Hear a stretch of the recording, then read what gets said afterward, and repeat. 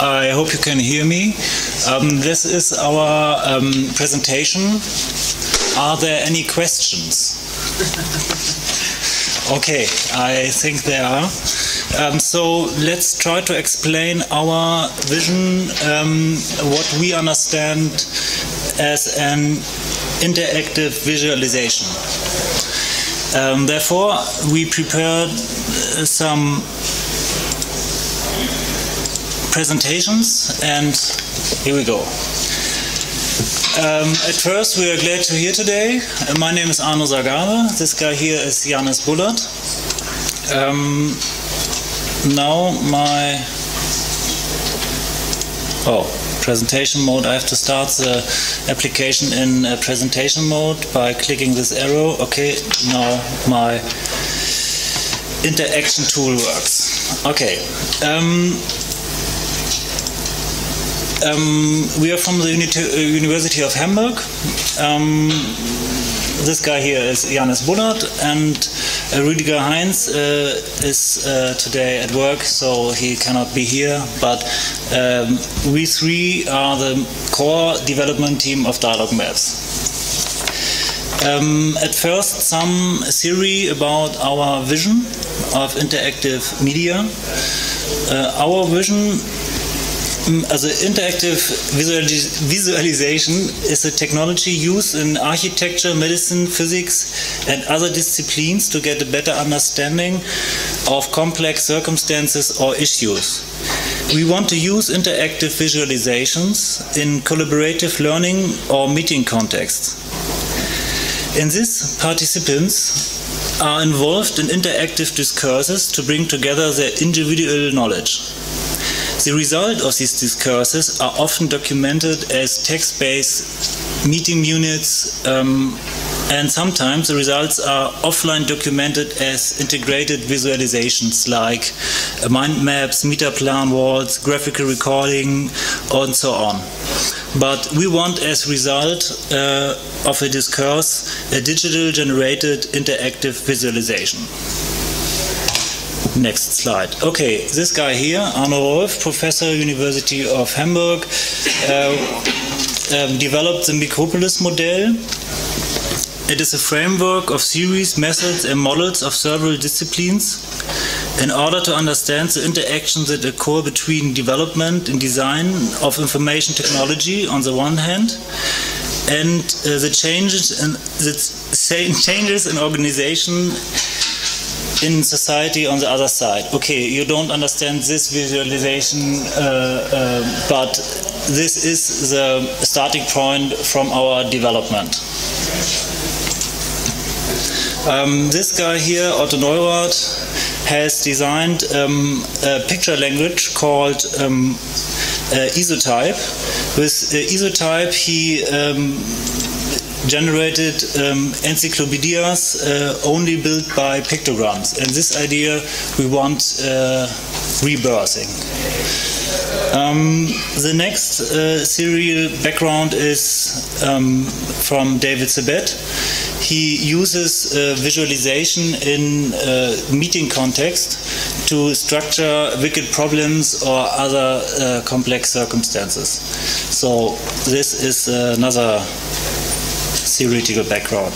And at last, uh, we are inspired by Vannevar Bush's idea of a memory extender called Memex, which allows to navigate in complex multimedia data material like this um, uh, visualization along predefined associative trails. This presentation is an associative trail. Okay, it's one associative trail in. Okay. Um, for more details, please read our scientific publication and Google dialog maps. This is the theoretical background. Um, okay, this is Memex. Um, other software solutions. Um, you know Prezi, Prezi is an online presentation software for storytelling that has a zooming user interface which allows users to zoom in and out of the presentation media and allows users to display and navigate through information. Its closed software and okay, that's it. It's closed software. so um, the other on the other side, oh, I, I forgot to show Prezi in a static mode. That's pretty look looks like our material. So, and then there is uh, Sozi here.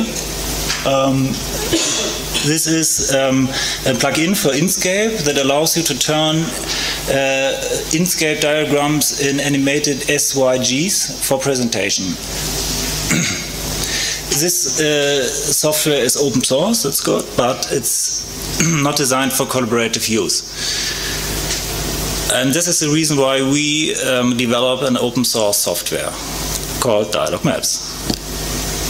For first and better understanding, DialogueMaps is partly identical to Prezi, but it's more, and we will demonstrate it in a few minutes. Before I will talk about architecture uh, of the architecture of DialogueMaps. So I use the same material, the same um, uh, interactive visualization, but I open a new.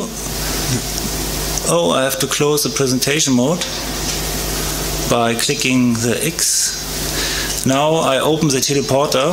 This is, this is our implementation from Memex, the teleporter.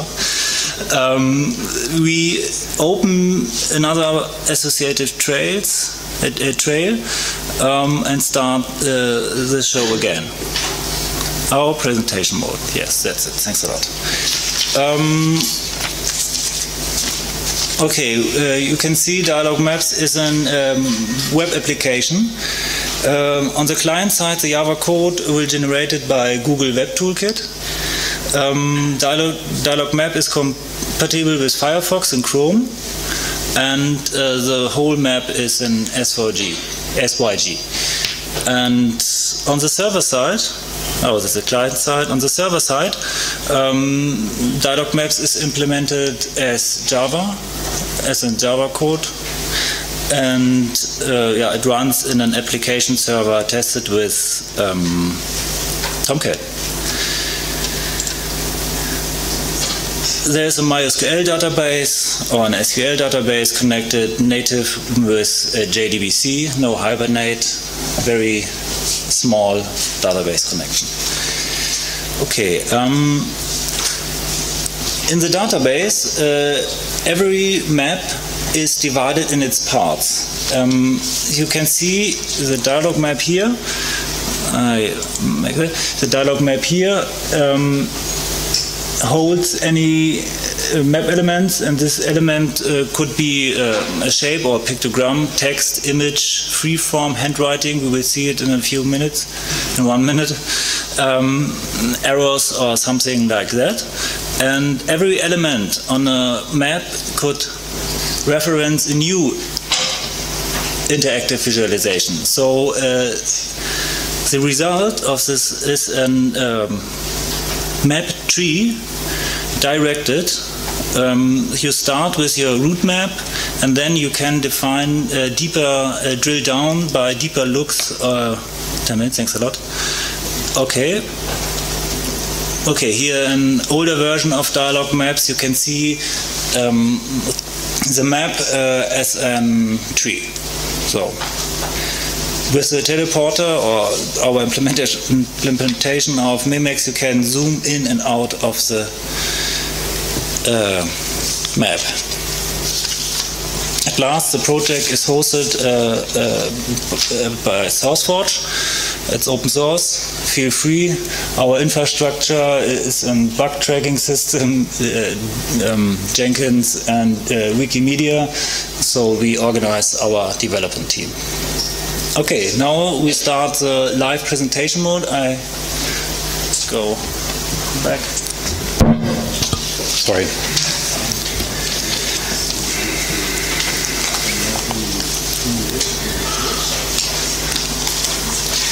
All right, I'm.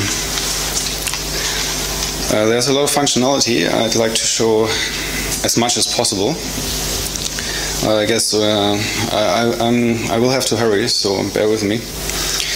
Uh, we have four four topics. Um, we, I'm going to talk briefly about the maps, then we'll show all the things we can do with elements. Then uh, uh, everything we have to navigate within the maps, and uh, at last uh, the uh, collaboration tools.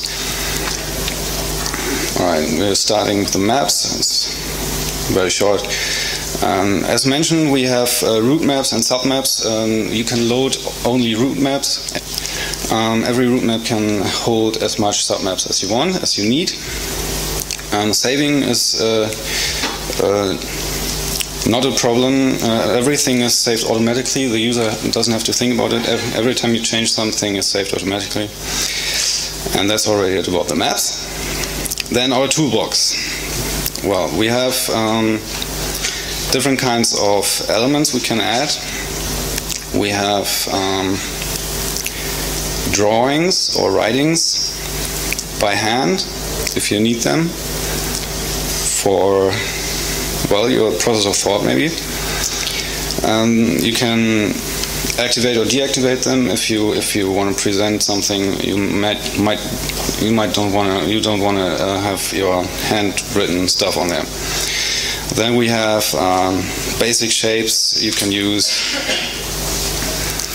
And we have arrows, different kinds of arrows you can use. Every, everything is SVG. Uh, we have a text editor,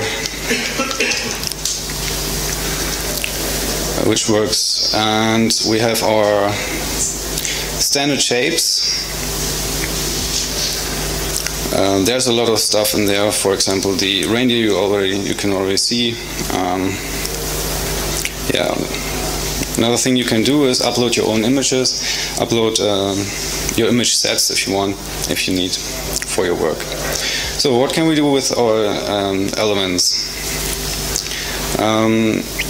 Well, we can copy them, we can paste lots of them. Oh we can uh, align them as uh, the way we need them.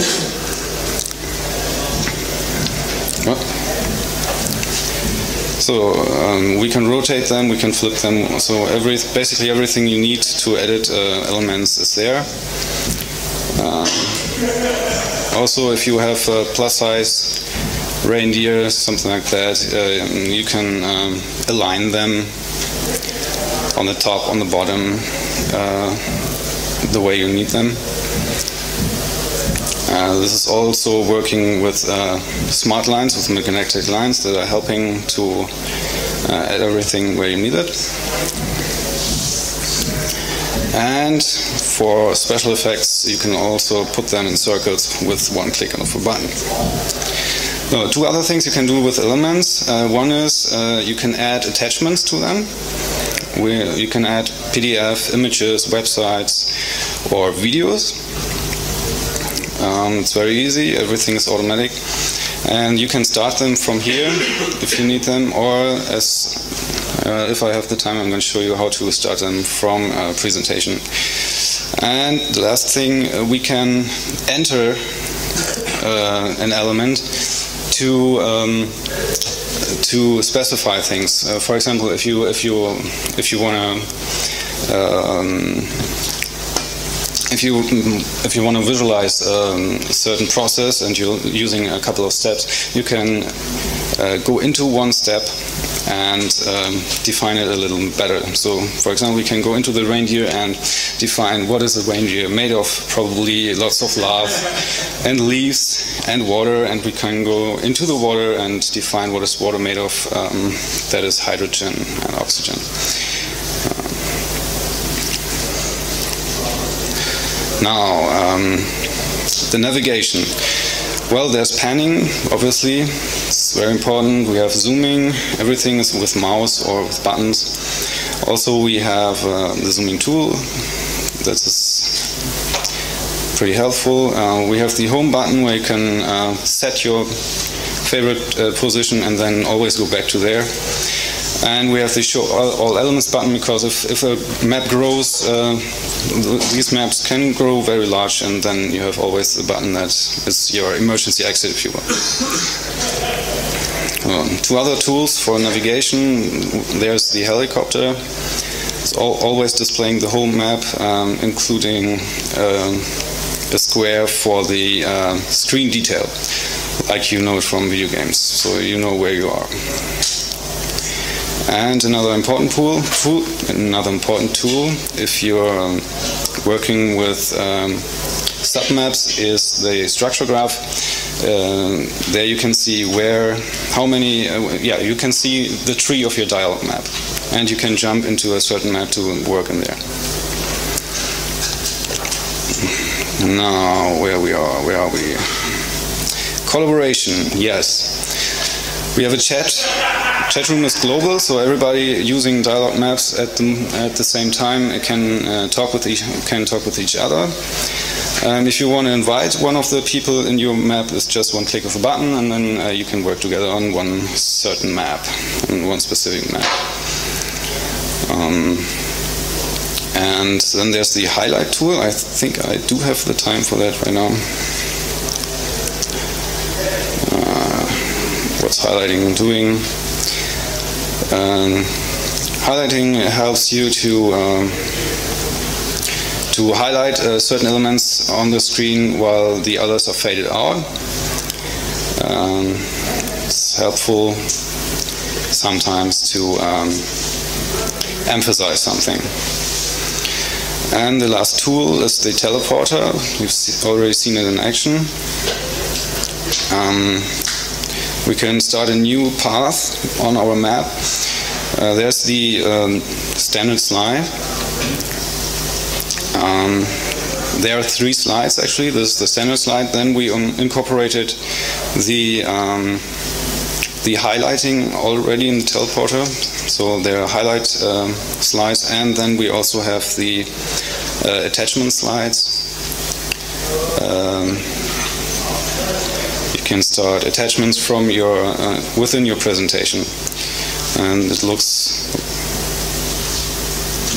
like this. Well, not standard, and then the highlighting, and then the um, attachment. And I think we're done. Right? Right. Thank you. We have time for one question. Okay, one question, please. Who will be the one? Yes. That was very far behind in the room. Go, go, go, go.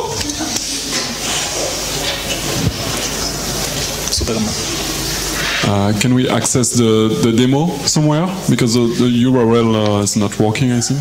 Okay, you can, uh, on the, our nightly build, um, dialog maps Dialog Maps Informatik.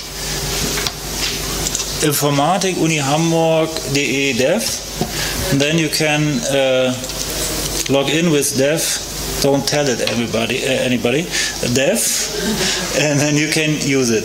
It's a nightly build and the login data verification doesn't start yeah, the server crashed a couple of hours ago, so. Okay. But it will work soon. Uh, please come soon. Uh, please come later again. An hour a day will work.